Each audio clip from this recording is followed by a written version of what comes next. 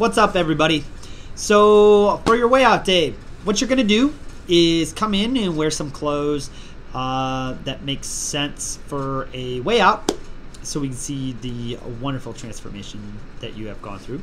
Then we are going to step on the scale and get your body fat percentage, BMI, weight, all that fun stuff, and see how far you have come. Then after that, what we're going to do is do a brief discussion about what your next step is with health and fitness and get you set up for that. The whole process should only take about 10 or 15 minutes.